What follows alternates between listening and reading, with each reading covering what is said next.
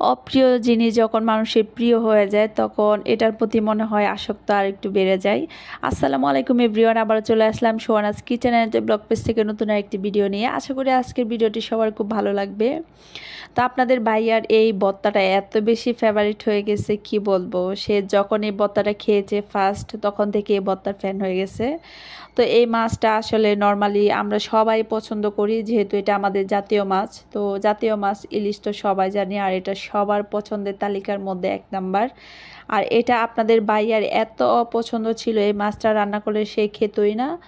আর মাছের মধ্যে যেহেতু অনেক কাটা থাকতো, তো কাটার জন্য আসলে সেই মাছটা লাইক করতো না বাট মাছের ভিতরে যে ডিমটা থাকতো সে ডিমটা পছন্দ করতো।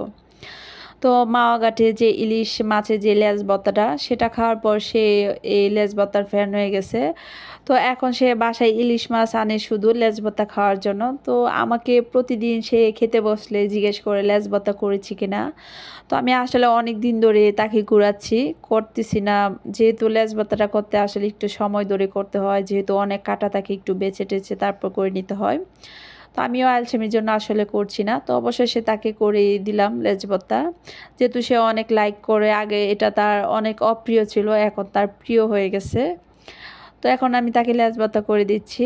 আর সে লেজবত্তা আসলে অনেক পছন্দ করে, আর আমিও পছন্দ করি, কারণ আমি আগেও লেজবত্তা কখনো ট্রাই করি নাই। মাও গাঠে খাওয়ার পর থেকে আসলে আমিও এই লেজবত্তার ফ্যান হয়ে গেছি। কারণ এতটাই মজা হয় এই লেজবত্তাটা কী বলব? যারা খেয়েছেন তো জানেনই।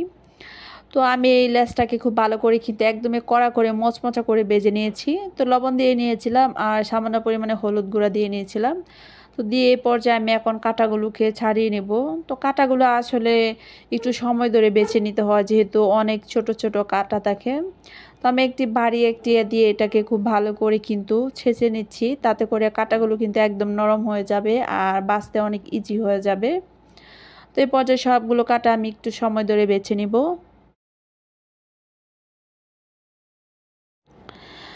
তো এই পর্যায়ে আমি এটাকে খুব ভালো করে কিন্তু ছেঁচে নিচ্ছি। আপনারা দেখে কিন্তু বুঝতে পারছেন। তো খুব ভালো করে ছেঁচে নিলে কি হবে? কাঁটাগুলো একদমই নরম হয়ে যাবে। তো বাঁচতে আপনাদের জন্য একদমই সহজ হয়ে যাবে। আমি খুব ভালো করে কিন্তু কাঁটাগুলোকে ছাড়িয়ে নিয়েছি। তো এই পর্যায়ে এখন আমি এখানে শুকনা মরিচ দিয়ে নিব। আর শুকনা মরিচগুলো আমি আগে থেকে বেঁচে রেখেছিলাম। তো আমি এখানে শুকনা মরিচ নিয়ে নিচ্ছি, আমি আমার পরিমাণ মতো করে যেরকম ঝাল খাব সে অনুযায়ী দিয়ে নিচ্ছি। আর এই বতাটা কিন্তু একটু ঝাল করে বানাতে হয়, তাহলে খেতে আরও বেশি ভালো লাগে। তো আমি এখানে পেঁয়াজ কুচি দিয়ে নিয়েছি আর পেঁয়াজটাকে একদমই মিহি করে কুচি করে কেটে নিয়েছি। তো এরপর যে ধনে পাতা দিয়ে নিব, আর ধনে পাতা দিলে তো বত্তার স্বাদ বেড়ে যায়, এটা আমরা সবাই জানি। যে কোনো কিছুতেই ধনে পাতা ইউজ করলে আসলে টেস্ট আর একটু বেড়ে যায়। তো আপনাদের হাতের কাছে ধনে পাতা না থাকলে আপনারা স্কিপ করতে পারেন, কোনো সমস্যা নেই। তো বেজে রাখা মাছের যে তেলটা ছিল, সরিষার তেল, তো আমি সেই সরিষার তেলটা দিয়ে নিয়েছি।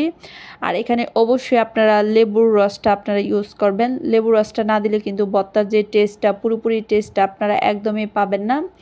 তো আপনারা রেস্টুরেন্টের স্টাইলে যদি আপনারা লেজ বতা করতে চান, তাহলে অবশ্যই এখানে লেবু রসটা ইউজ করতে হবে। তো এই তো একদম রেডি হয়ে গেছে মজার বত্তা